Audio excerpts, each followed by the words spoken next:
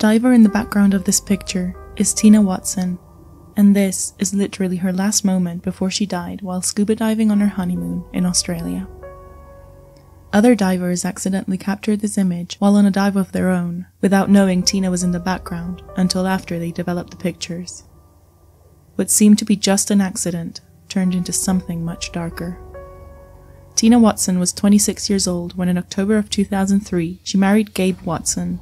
The couple had met in college in Alabama, where they both lived, and had been dating since 2001. On October 11th of 2003, they celebrated their wedding and then set off to their honeymoon in Australia, where they planned to scuba dive through the Great Barrier Reef, the world's largest coral reef system. Some of the dives in the area are recommended only for experienced divers. Gabe had a lot of experience with over 55 dives completed and being a qualified rescue diver for a state park lake.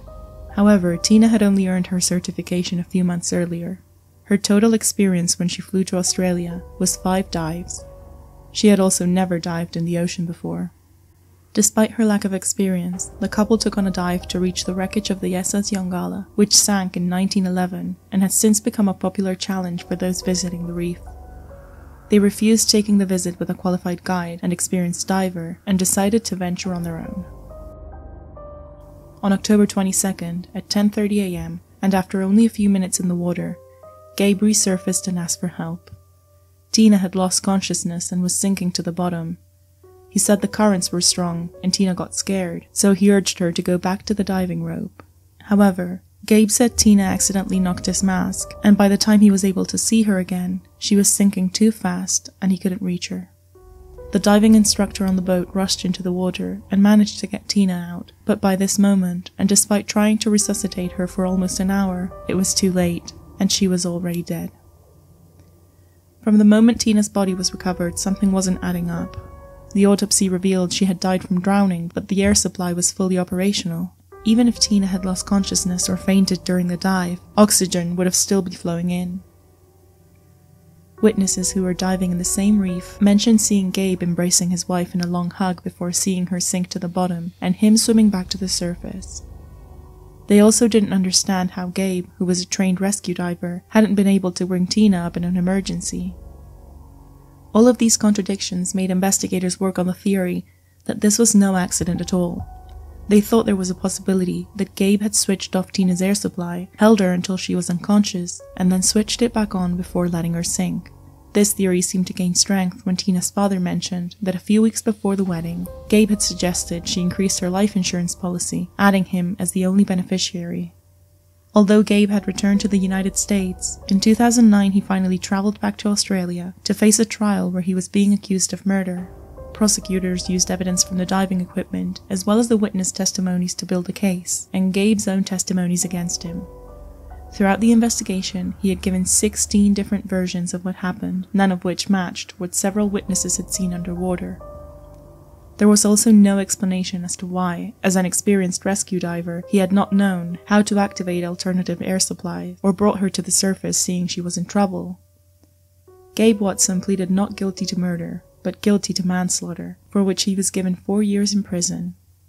He served only 12 months. Tina's family attempted to take Gabe to trial in the United States as well, since they believed the plot to murder Tina was already in the making before they even got married. However, a judge dismissed the case due to lack of evidence and acquitted Gabe Watson, who is, as of today, a free man. What do you think really happened during that dive? Leave a comment and let me know your thoughts down below.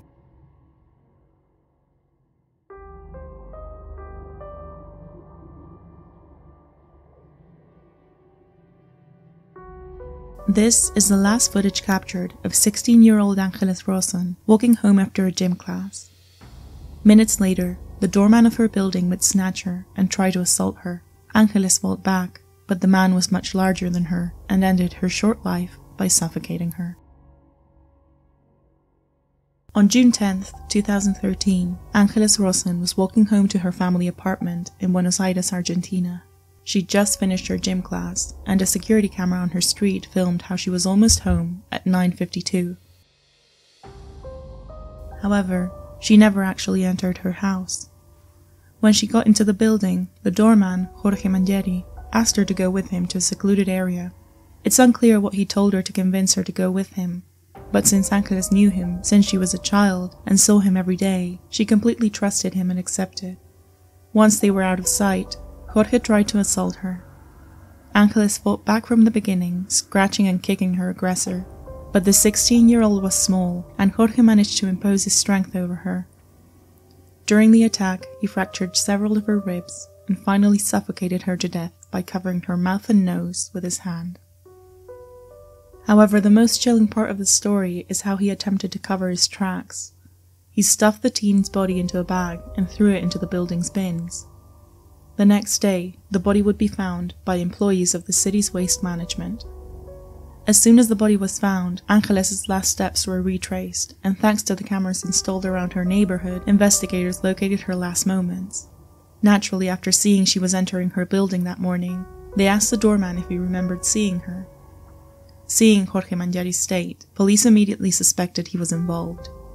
He was covered in bruises and scratches, and although he tried to cover the truth at first, the suspect quickly caved and confessed. DNA testing would later prove Angeles had traces of Jorge's skin under her nails, confirming he was the one who attacked her. Jorge Mangeri was given life in prison for the murder of Angeles Rawson and is still serving his sentence today.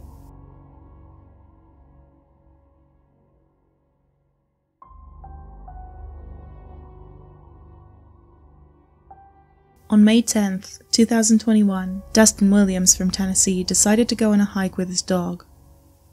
On his walk, he took several pictures and even went live on Facebook for his weekly virtual Bible study. However, shortly after sending this picture to his family, he went silent. Twelve days later, his body would be recovered from the trail he was hiking on. Curtis Dustin Williams was 43 years old and lived in Tennessee along with his wife and daughters. He was a devoted father and a man of faith. Every week, he hosted a Bible study session on Facebook Live. He was a lover of the outdoors and enjoyed nature every time he could. In fact, as a job, he led mountain tours, so going on hikes was something he did often. He was experienced and knew the trails very well. That day, May 10th, he told his wife of 20 years he would be going for a quick hike to host his Bible study Facebook Live from the mountain. He would only be gone for a few hours, and he would meet the family later on for dinner. He took the dog and was on his way. The weather was good, just a few clouds scattered along the sky, and Dustin hosted his Facebook Live, where his family also tuned in to watch, as they always did. After finishing his live stream, he made his way home, only he never actually made it home. After a few hours of not hearing from him, his wife and daughters began to call him, but his phone kept going straight to voicemail. Perhaps he ran out of battery, they thought, but as time kept moving forward, his wife sensed that wasn't the case, so she drove to the park where Dustin was hiking at. There, she found that his truck was still in the parking lot, so he was bound to still be somewhere along the trail. After speaking to the park officials and getting the police involved, the search began. Hundreds of officers and volunteers searched the massive pocket wilderness, but found no signs of Dustin. After the third day of searching, the family dog's body was recovered, making it even clearer that something must have happened to Dustin while he was hiking. It would still take another nine days to find out. On the twelfth day of searching, Dustin Williams's body was found at the bottom of a cliff. The fall had been too much, and he hadn't survived. It's not clear exactly when Dustin fell, but since he kept a very active communication with his family during his hike, this picture might have been taken just moments before his accident. The Williams family has set up a GoFundMe page to help with all of the expenses that come along with losing a loved one, especially to an accident, since Dustin didn't have life insurance. The link will be in the description if you're interested in learning more about how to help in this case.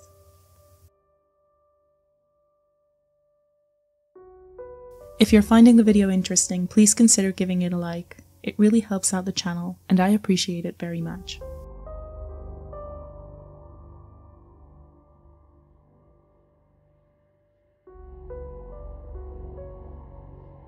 This is the last photo ever taken of 17 year old Michelle Rogers.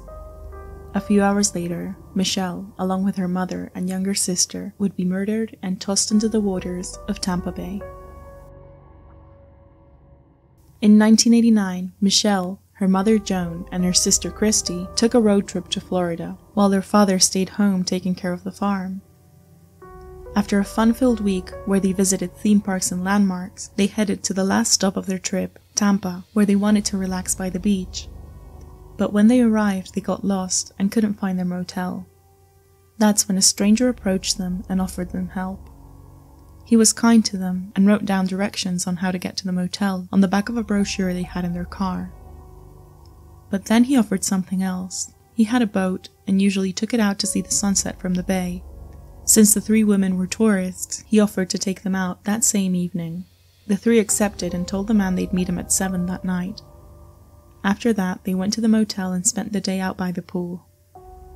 While they were getting ready that evening, either Joan or Christy snapped this picture of Michelle on the floor of the room the three were sharing.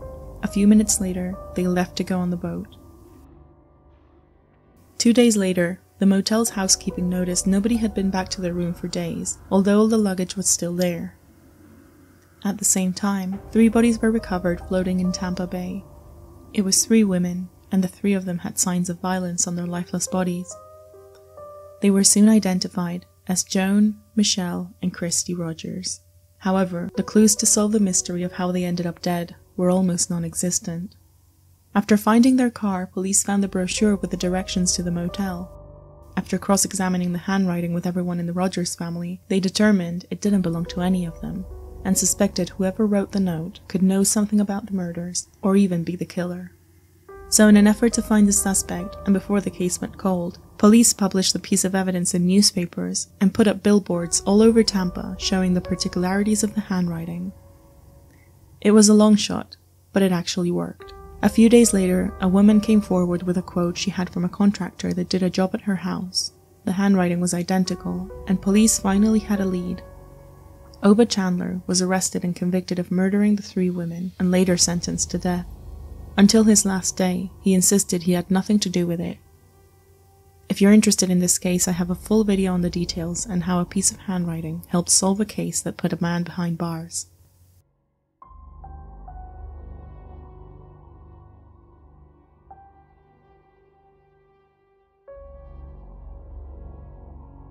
This photograph was taken by Daylenn Pua and sent to his family while he was on a hike in the Haiku Stairs in Hawaii. After that, they lost contact with the 17 year old. After checking the photos Daylenn sent to his family that morning, a mysterious figure is spotted among the wilderness. Investigators believe this stranger could hold the answers to what happened to Daylenn, who, as of today, is still missing. The teenager was visiting his grandmother, and during his visit, he told her he planned to go on the Haiku Stairs hike. The popular Haiku Stairs, also known as Stairway to Heaven, is a steep steel structure that remains from a former US Navy communication facility on the island. The nearly 4,000 steps still remain, but since the facility was abandoned in 1987, nobody has done any maintenance, and the hike is officially closed to the public. However, the view of the bay from the top is famous for being a beautiful one, and many hikers venture into the banned trail anyway. This is what Daylenn planned to do, ignoring the advice from his grandmother, who told him it could be dangerous. Many of his friends on Facebook were also surprised he would go on such a dangerous hike, but he assured them it was okay. On the morning of February 26, 2015, Daylenn was wearing a white long sleeve shirt, black surf shorts, and a red backpack when he made his way to the popular trail. This is the last thing he ever posted to his Facebook account. During the hike, he texted several pictures to his family. The scenery was beautiful, surrounded by the wilderness of the island. However, Daylenn's grandmother was at home waiting for him to come back. She wasn't happy he'd decided to go on the hike against her advice, and when the hours went by and Daylenn went silent online, she began to get scared. That evening, after not hearing from him since the morning, she reported him missing. An extensive search began for Daylenn, involving authorities who used volunteers, drones, and dogs to search for him. However, the teenager seemed to have just vanished, and there was no trace of him anywhere. There were no reports of bad weather or any other adverse conditions that could have trapped him. Nothing seemed to be out of place. He was just gone. Police asked to see the pictures he'd been texting his family to try and locate any clues that could help solve the mystery of what happened to Daylenn, and that's where the story gets strange. In one of the pictures of the scenery the teen sent to his family, there are signs that Daylenn wasn't alone on the trail. Whether he knew it or not is a mystery, but in one of the pictures, moving in between the bushes, the figure of what appears to be a man can made out. He's barely recognizable, and there are no signs that the man was necessarily following Daylenn, but authorities think there is a connection between the disappearance and this stranger. A few days after the search began, witnesses who were also in the area around the Haiku stairs reported they heard cries for help, but they can't be certain it was Daylenn who was shouting. The urge to identify the man in the photo grew and grew, but nobody seems to know who it may be. A week after he was reported missing, and with no signs of him or a body, the search for Daylenn was called off. And although his family continued to search the trail on their own, to this day, nobody has ever seen or heard from Daylenn again. Authorities are still trying to identify the man in the picture and his potential connection to the missing teen.